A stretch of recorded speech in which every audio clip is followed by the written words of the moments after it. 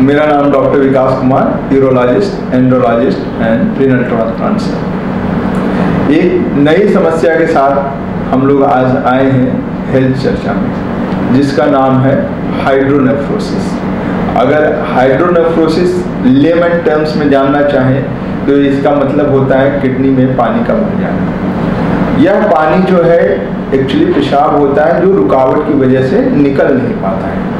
तो अगर आपके किडनी में सूजन हो रहा है तो इसके बहुत सारे कारण हो सकते हैं। लेकिन सबसे पहले हम जाने कि क्या क्या लक्षण हो सकते हैं जिससे आप समझेंगे कि आपको किडनी में सूजन की समस्या हो सकती है। तो सबसे पहले, अगर आपकी किडनी में सूजन है तो आपको हो सके कोई समस्या ना हो और ये चीज़ आपको अल्ट्रासाउंड में पता चले कि आपके किडनी में सूजन हो जाए। दूसरी चीज़ें, आपको पीठ दर्द या पेट दर्द हो सकता है, स्पेशली साइड में दर्द हो सकता है, जो आपको हमेशा बढ़ते, घटते रह सकता है। दूसरी चीज़, इसके साथ आपको बार बार पेशाब लगने की समस्या हो सकती है।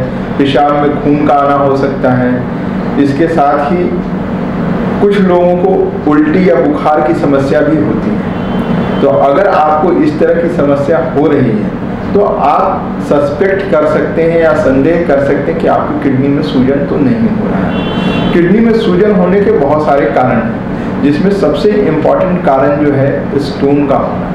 अगर किडनी में स्टोन है या रास्ते में कहीं भी ब्लॉकेज है स्टोन की वजह से तो एक सूजन के रूप में प्रेजेंट कर सकता है। जो बाद में आपको इन्फेक्शन के साथ एसोसिएटेड होता है, जो आपको फीवर एंड वोमिटिंग या उल्टी जो है उसके साथ एसोसिएशन हो जाता है। इसके अलावा जो है, आपका जन्मजात विकृतियाँ जैसे बच्चों में होती है specially we are vesico electric reflux बोलते हैं, जिसमें आप, जब पेशाब बच्चा करता है तो पेशाब वापस यूरेटर एंड किडनी में जाता है, जो एक सूजन क्रिएट करता है। तीसरी चीज़ जो है, आपका जो किडनी एंड यूरेटर है इन दोनों के बीच में जो जंक्शन होता है, वहाँ पे अगर कहीं नैरोइंग हो गई है तो उसकी वजह से आपको किडनी में सूजन हो सकता है। और सारे कैंसर्स हैं, जैसे आपके कैंसर की वजह से भी किडनी में सूजन हो सकता है, क्योंकि जो कैंसर होते हैं, वो रास्ते को ब्लॉक कर देता है और जिसके बाद किडनी में सूजन देखा गया है। इसके साथ ही अगर आप नीचे आते हैं ब्लैडर में तो ब्लैडर स्टोन आपको किडनी में सूजन करा सकता है। दूसरी चीज़ें ब्लैडर कैंसर्स जो हैं, उसकी वजह से सूजन हो सकती है। ओल्ड एज में अगर आप देखें तो प्रोस्टेट अगर आपका प्रोस्टेट बहुत ज़्यादा बढ़ गया है और पेशाब को निकलने नहीं दे रहा, जिसकी वजह से भी आपकी किडनी में सूजन की खतरा रहता है या सूजन हो जाता है, जिसमें आप देखेंगे दोनों साइड सूजन हो जाती है और साथ में यूरेटर में भी सूजन रहता है। कुछ इन्फेक्शंस जो है, वो भी पेशाब के रास्ते में जब इन्फेक्शन होता है तो उसकी वजह से भी किडनी में सूजन होता है या किडनी का इन्फेक्शन भी किडनी में सूजन कराता है। लेकिन कभी कभी ये सूजन बीमारी की वजह से नहीं होती नॉर्मल होती है, जैसे प्रेगनेंसी में। अगर प्रेगनेंसी में किसी को सूजन हो रहा है, थोड़ा बहुत सूजन है तो वह नॉर्मल रहता है, उसमें कोई घबराने वाली बात नहीं है। और यह प्रेगनेंसी खत्म होने के साथ ही खत्म भी हो जाता है।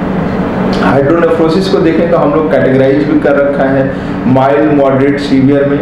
लेकिन मैं ये बताना चाहता हूँ कि हाइड्रोनेफ्रोसिस अगर आपको है, जो कि आपको अल्ट्रासाउंड कराने से पता चल जाता है या सोनोग्राफी कराने से पता चल जाता है। तो ये इम्पोर्टेंट क्यों है कि इसका आप डॉक्टर से जाकर मिलें या इलाज करवाएँ? क्योंकि अगर आप इस चीज़ पर ट्रीटमेंट नहीं कराएँगे तो धीरे धीरे आपकी किडनी खराब हो जाएगी और फिर आपको डायलिसिस या ट्रांसप्लांट का ज़रूरत पड़ेगी। तो किडनी में अगर सूजन है तो इसके उपाय भी हैं। सबसे पहले किस कारण से हो रहा है? अगर ये स्टोन की वजह से हो रहा है तो हम लोगों को स्टोन का ट्रीटमेंट कराना चाहिए। अगर इन्फेक्शन की वजह से हो रहा है तो मेडिकल मैनेजमेंट से हम लोग इन्फेक्शन को कंट्रोल कर सकते हैं। अगर कोई कैंजेनाइटल एनोमलीज है तो उसके हिसाब से हम लोग इसका ट्रीटमेंट कर सकते हैं। इन सब के साथ ही हम लोग नेफ्रोस्टमी या पीसीएन करके भी किडनी में सूजन को कम किया जा सकता है। तो अगर आपको किडनी में सूजन है या हो रहा है, अगर किसी वजह से अगर आपने अल्ट्रासाउंड कराया और किडनी में सूजन निकला तो भी आप अपने यूरोलॉजिस्ट से ज़रूर मिलें, क्योंकि यह कोई गंभीर बीमारी का संकेत हो सकता है या कोई गंभीर बीमारी हो सकती है। तो इस चीज़ को समय रहते ट्रीटमेंट कराना चाहिए। धन्यवाद।